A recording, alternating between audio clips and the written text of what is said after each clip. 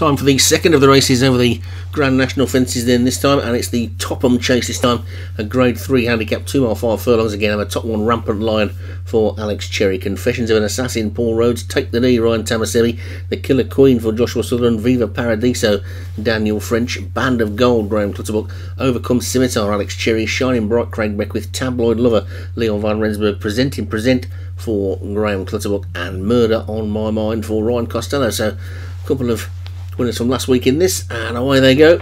And Tabloid Lover looks like it's going to be the first to show then, as they make their way to the fence. It'll be the second last next time round, and next week. Not next week, tomorrow. Well, what about next week? They get to the first, and over it they all go. And overcomes Scimitar. It's probably just about gone on then now. Alex Cherry's first and last at the moment. I'm sure Rampant the top weight at the back, is probably the one he's expecting to be closer to the front at the end of the race, and they're making their way to the chair then now, so they jump one fence less than I thought they were going to.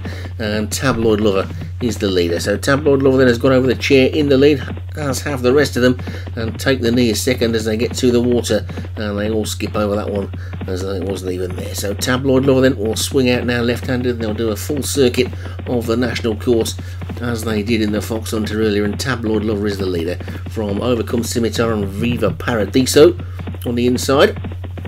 And Take the Knee It was a big winner last week at Cheltenham.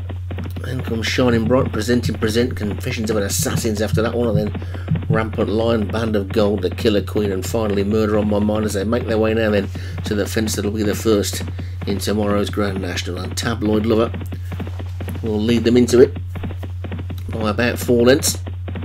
Feel get over it nicely. Its nose a little bit was the Killer Queen, but early enough in the race to be able to recover from that pretty successfully, I would have thought, as they get over the second, the next. And Murder on My Mind was the one that made the mistake this time as they come down to the big ditch, which will be the third tomorrow, and it's the sixth today. It's Tabloid Lover that leads into it. And they all get over that one nicely as well then. With Tabloid Lover the leader. Confessions of an Assassin has moved through in a second. Presenting Present is in third as they get to the next. That's fence number seven get the numbers mixed up. I'm determined to was determined to call that fence number four, as you might want to notice. But it's Tabloid Lover in the lead then from Confessions of an Assassin and then the Killer Queen as they get over the next. And they're all safely over that one as well.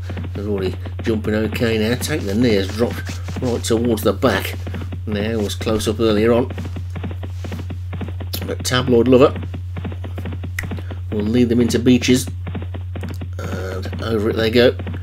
All safely over Becher's Brooklyn with Tabloid Lover in the lead and Confessions of an Assassin second, and then Shining Bright and Presenting Present as they come to the next, which is these days called Foinavon. And Confessions of an Assassin made a bit of a mistake at it, the smallest fence bar the water jump, and he managed to give it a an almighty wallop. So coming down to the canal turn now then, and Tabloid Lover has suddenly found itself six lengths clear and takes the canal really nicely. They all get over it well with Confessions of an Assassin just about showing second from Shining Bright and Presenting Present. Overcomes Scimitar is tucked in behind them as they get over Valentine's Brook this time and they're all safely over that one as well then. And that's all the really big obstacles. Just one more ditch to take. That's the fourth from home but it's Tabloid Lover that's going to take them into the next. And over that one they go and Tabloid Lover the leader from Presenting Present Viva Paradiso, then Confessions of an Assassin and Shining Brights after that one. This is the final ditch, and over it they go in a slow jump. There was by Shining Bright, but Tabloid Lover still the clear leader. Viva Paradiso is the stalking horse in second, though, who's now going to try and close. Then comes Presenting Present over the third, last they go.